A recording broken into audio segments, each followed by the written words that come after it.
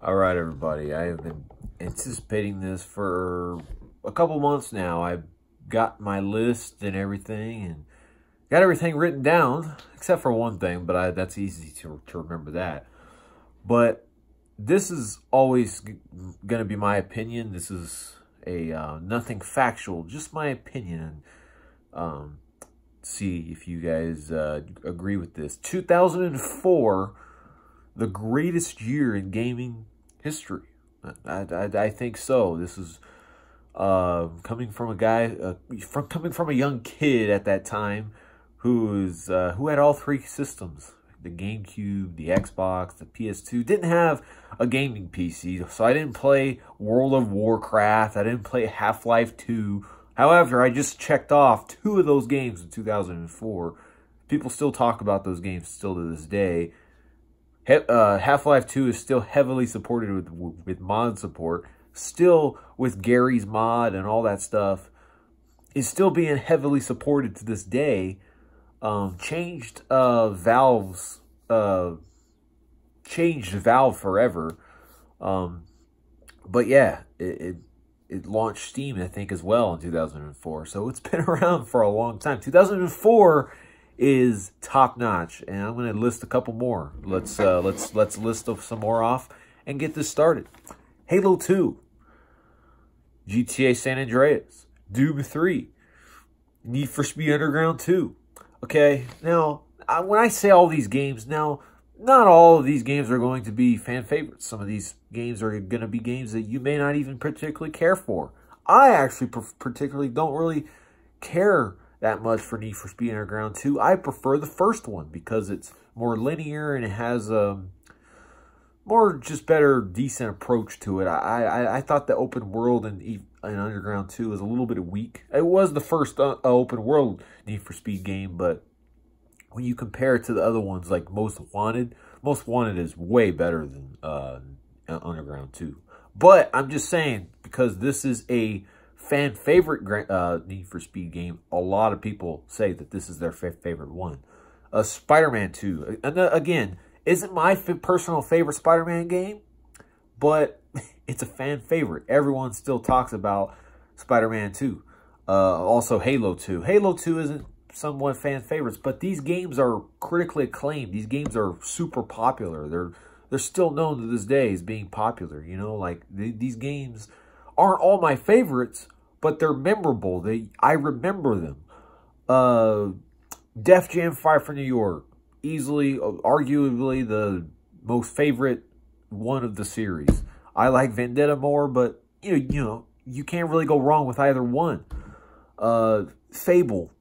Fable was an incredible game at the time. Yeah, there was some lies from Peter Molyneux who said that you can do this and this and this, you can get married, and none of that happened in the game. It was, it was tell me lies, sweet little lies before Todd Howard for uh, back back then. He was Todd Howard, he was Fraud Howard before Fraud Howard was even a thing, all right? So Peter Molyneux started the whole tell me sweet little lies, tell me lies, tell me sweet little lies song way back in 2004, so um, obviously, that's a bit of a negative to 2004, but uh, I'm just going to name some more games. Red Dead Revolver. Again, not the best game, but it started a series that we all know and love now to this day.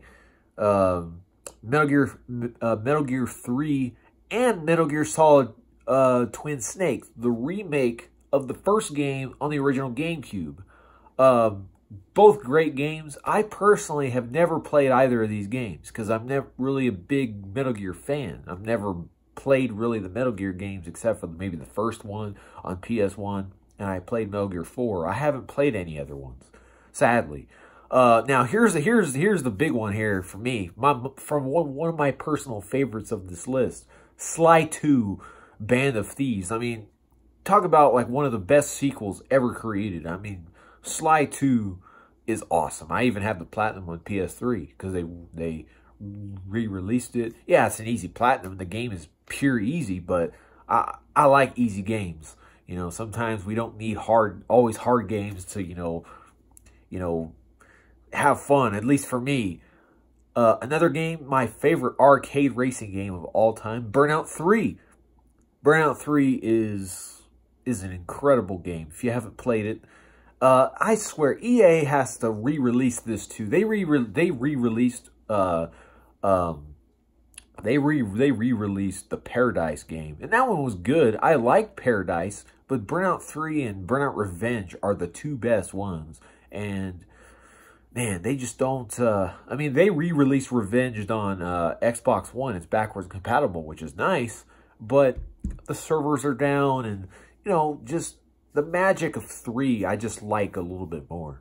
Uh, uh, Ratchet and Clank Up Your Arsenal, another great uh, Ratchet and Clank game. I've only briefly played that one, but I do plan on playing it again uh, more sometime in the future because I do have it. I have it downloaded on the PS3 because I have the remasters, and I do plan on going to that eventually and finishing it because I've only briefly played it, but I have all the Ratchet games, all the good ones anyways, not the, you know, trash ones.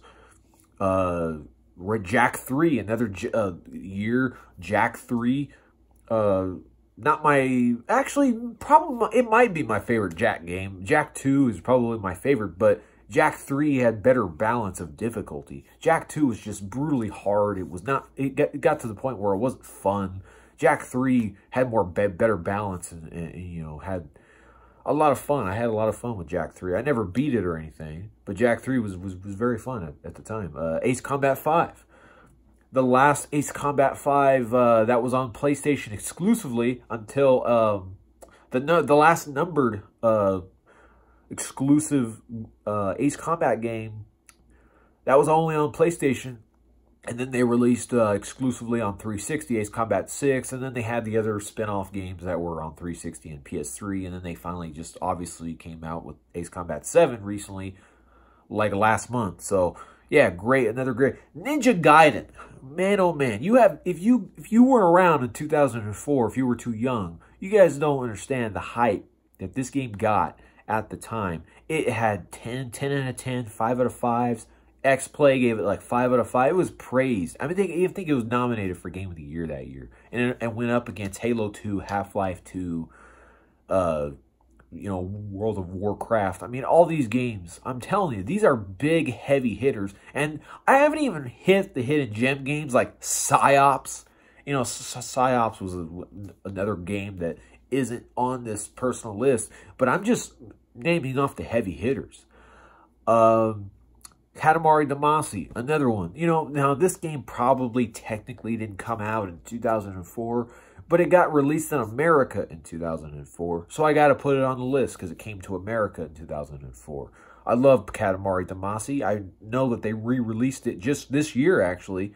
Actually, no, December. It was almost this year. December, they re they re they re-released it on Switch, which, by the way, I hope I hope Namco re uh, re-releases this on on PS4 and Xbox One because I, at least PS4, because I really want to replay it and get the trophies and stuff, you know. I never beat that game either. I, I didn't beat a lot of games back then. I got stuck on a lot of them. But And then here's here's the best sports game on this list. Uh, on The only sports game on the list, and it's the only necessary sports game.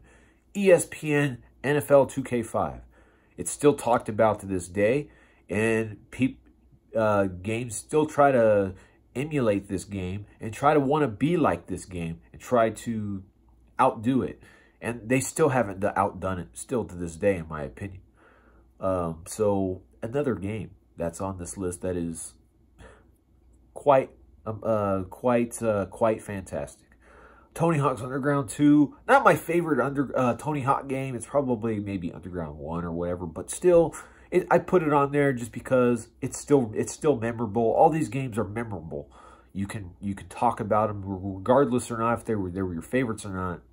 They're still great. And by the way, I didn't touch on San Andreas, but San Andreas is probably one of my most played GTA games. It really is. I mean, I remember I went on and on about like the the uh the the 2007 when YouTube was first taken off, you know, like the the uh, the Sasquatch uh, Easter egg that you can find in the woods. It was never there. It was only a mod, but I did it anyways because I really wanted to see if it was actually there.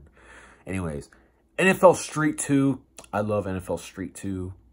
Uh, uh, uh, Splinter Cell Pandora Tomorrow. Some say some people say Pandora Tomorrow is the best. Some see, some people say Chaos Theory is the best. Whether you like them, uh, whether what one you like or not, you can't argue that that one, Pandora Tomorrow, definitely is deserving. Uh, it came out in 2004, a great year. Uh, the original Far Cry, um, another, like, this year is crazy for FPS games. Half-Life 2, Halo 2, and Far Cry. I mean, it's just, it's just pretty insane. That, and Doom 3 as well. I mean, heavy hitters for FPS games. I mean, this was a crazy year for FPS games. Uh, the Getaway Black Monday. All right, I put. All right, I'm stretching it now. All right, that probably wasn't even that good of a game, but I put it on there anyways. I mean, the first Getaway is better, but I put Black Monday on there just because it's a Getaway game and it hasn't been mentioned, so I just put it on there. Another game I had this as a kid, WarioWare Twisted for the Game Boy Advance. I love. It's my favorite Game Boy Advance game of all time. It's my most played Game Boy Advance game of all time. WarioWare Twisted is fantastic. And also, WarioWare Touched on the DS. And the DS and PSP got released in 2004. How do you like them apples? Uh, and uh, all the games that came out on PSP and DS that year. I don't have them listed on here, but I did it because to for for time restraints, I didn't want to go too too deep into it. But if you want to do it for yourself, just look at all the PSP games that came out that year, all the DS games that came out that year. They're pretty, they're, you know, like they're, they're not amazing games, but they're good. Especially Ridge Racer on PSP. Let's just say that is the my favorite PSP game of all time. I'm just gonna say that. That's just my opinion. Day of Reckoning, of course, I got to put the WWE games on there. At least one of them. I liked the SmackDown versus Raw as well, but Day of Reckoning also was another good one. I just didn't like the career mode that well because I had to win every single match. I mean, how stupid was that? But anyways, that is it. Um, there's more. Uh, I think that I, I actually I missed uh, Hitman Contracts. I didn't say that one, so you, uh, that one's well. But that is just a sum of portion of games that came out in 2004. Um, there's a there's there's a couple others that that I didn't mention, but you may have liked. But yeah, that is a great great year. My favorite game year in gaming ever. Uh, because I just remember being, and I remember E3 2003 when I watched it on G4 or Tech TV also at the time, that they were covering all these games at E3, and I was excited for them. And, you know, I was uh, blown away when I seen Halo 2. And I remember wanting to see that, and I played it. And I remember, and then I realized, where is that gameplay that I seen at, at, at E3 2003? It's not in this game because it never made it. It was too big. It couldn't handle it. It was running on a PC, and the Xbox couldn't handle that part on Halo 2.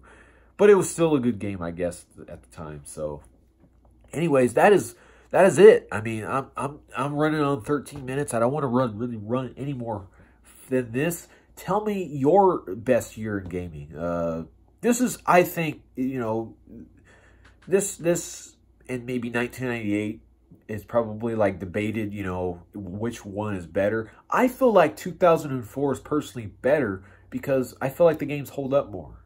Uh, you you um, like Half-Life 2 and Halo 2 still look great to this day, especially Half-Life 2. You go look at Half-Life 2, even without mods, it looks incredible. It's just an incredible looking game. Sly 2 still holds up. Burnout 3 just looks incredible, still holds up to this day. The crashes and everything are unmatched to, to crash games today. Uh, so, yeah, I, I feel like that wins overall just because they hold up, the games hold up more. Um, but I understand the reason why people say 1998 is the best year. I, I respect that. I respect that opinion for, for, for people who say that. You can't, you, you're not wrong either way. But anyways, this is a nice friendly conversation. Let's have a nice friendly conversation on what the what the best years in gaming were. My opinion, it's 2004. So tell me your best years in gaming. What what is the best years? Follow me on Twitter uh, if you don't already, because I like having debates and maybe conversations because it's fun. You know, it's fun. You you join this kind of stuff because you want to have these kind of type of conversations and stuff, uh, debates and all that stuff. It's fun. Uh, anyways, that is it. Uh, my Twitter is spongebelt, just like everything else. Uh, but that is it. And uh, thanks for, if you've watched this long, thank you. And uh, like and uh, comment. I always like comments. Comments are the best. If I'm not getting comments, well, and it's kind of crappy. But at the end of the day, it's it's all good. I just putting this out to vent and, you know, have some nice entertaining. Try to entertain people as much as I can. So anyways, that is it. You guys, uh, see you guys next time.